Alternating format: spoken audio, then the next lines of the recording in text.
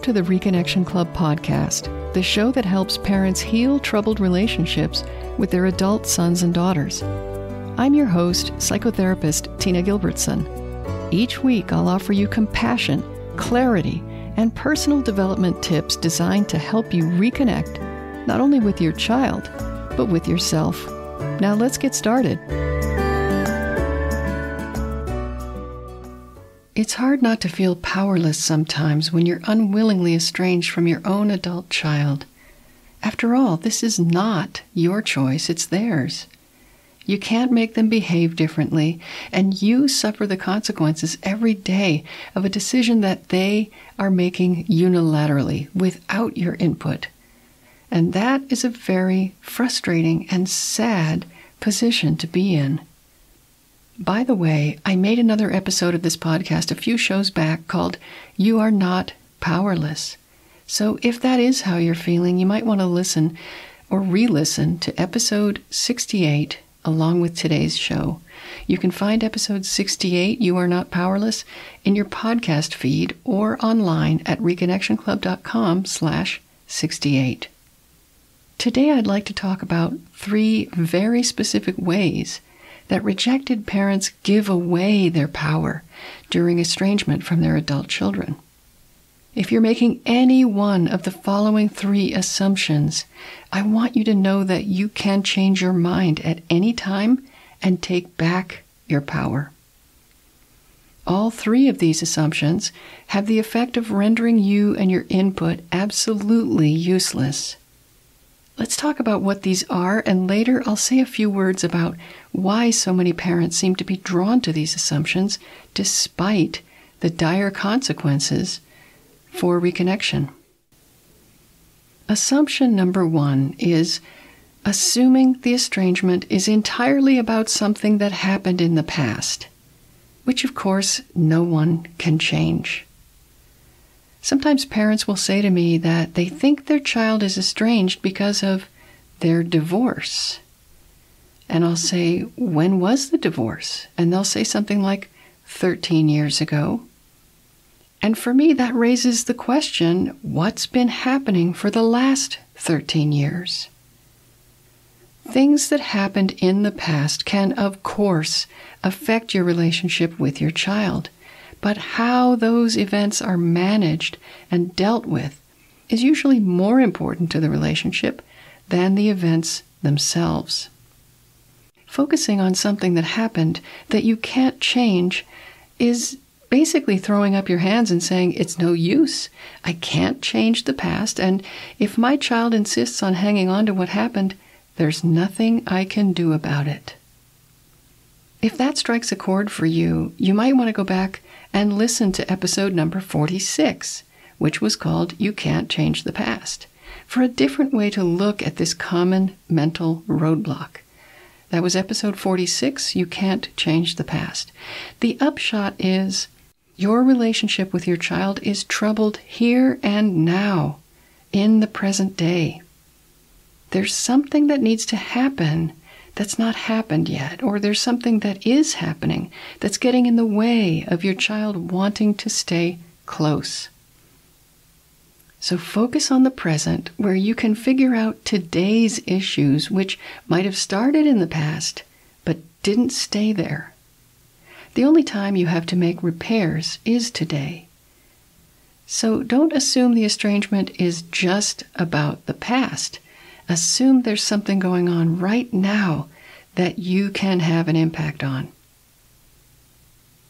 The second assumption that steals your power is assuming your child is brainwashed by someone else. Now, there's no question that spouses and partners and others can and do have an influence on your child's thinking and behavior, just as your peers do on your thinking and behavior. But the influence of others is more often in the nature of allowing rather than causing or creating your child's estrangement. If your child's spouse has said to them, You have to choose between me and your parents, well, then, I am truly sorry to have to say this, but your child appears to be in a pretty abusive relationship. And so the problem is bigger than just this estrangement. I really hope that is not the case because it is a devastating problem for the loved ones of people in abusive relationships. If an adult chooses to be in an abusive relationship, then legally there's nothing that anyone, even their parents, can do for them. They have to choose to leave. It's very hard to watch and really sad for families. The good news is if your child was not raised in the presence of abuse, then it's very unlikely that he or she has chosen an abusive partner. Abuse doesn't typically pop up spontaneously, it tends to be passed down through generations. So, unless you have reason to suspect that your child might gravitate toward abuse because it's familiar, she's probably not in an abusive relationship, which means that her partner is not controlling her. That was a little detour because a controlling relationship where your child isn't allowed to be close to you would be an abusive relationship. But I've spoken to people who have cut off their parents of their own free will, and they have told me that their parents blame their spouse, and that their spouse actually has nothing to do with it. But it is very common to blame an adult child's spouse or someone else who's close to them, and to imagine that if that person were not in the picture, your child would never have done this, or would soon come back to you. But if you want to keep some power over what happens in the future and the kind of relationship you share, it is best to assume that this estrangement is your child's choice for whatever reason. If he, your child, perceives a loyalty bind and he's chosen someone else over his parents, then there are ways you can approach that without making things worse. But that's not what this episode is about. So I'll just say that in general, other people are a distraction from the one person whose heart you need to be able to recapture. And as long as you're focused on the wrong person, you won't do anything to make the repairs with your child that may be necessary. The third assumption I'd like to mention today is assuming that your child is mentally ill for example, with borderline or bipolar personality disorder, and that's why she's estranged. I did another episode on this, which I invite you to check out. I can't remember the episode number, but it I think it was called Does Your Child Have a Personality Disorder?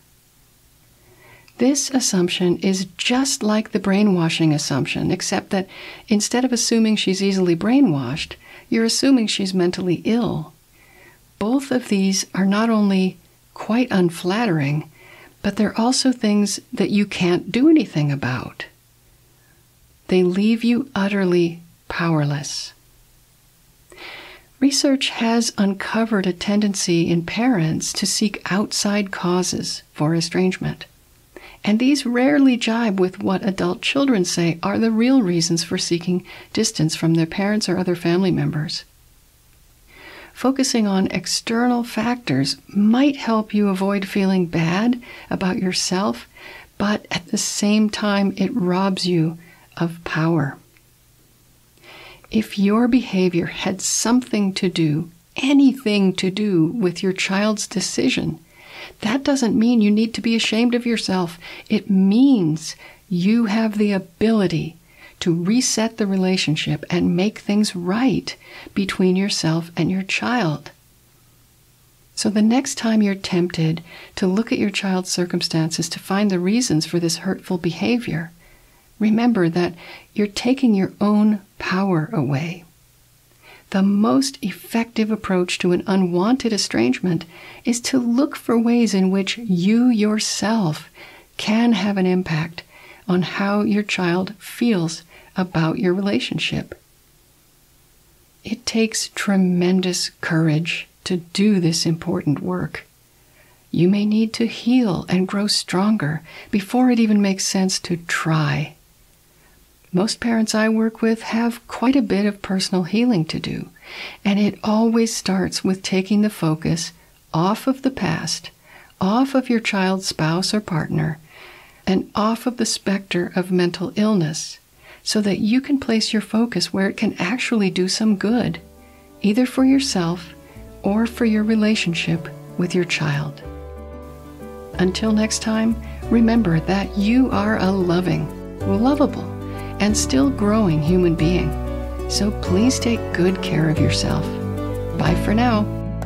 If you've enjoyed this episode of the Reconnection Club podcast, I invite you to check out reconnectionclub.com. The Reconnection Club is for parents at any stage of estrangement from their adult, child, or children.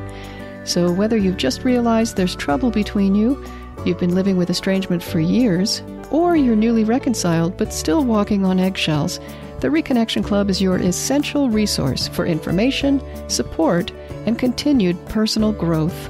With our courses and workshops, expert interviews, monthly Q&A calls, and a friendly, active community, the Reconnection Club is a wonderful place to be for anyone suffering the pain of estrangement from an adult, child, or children.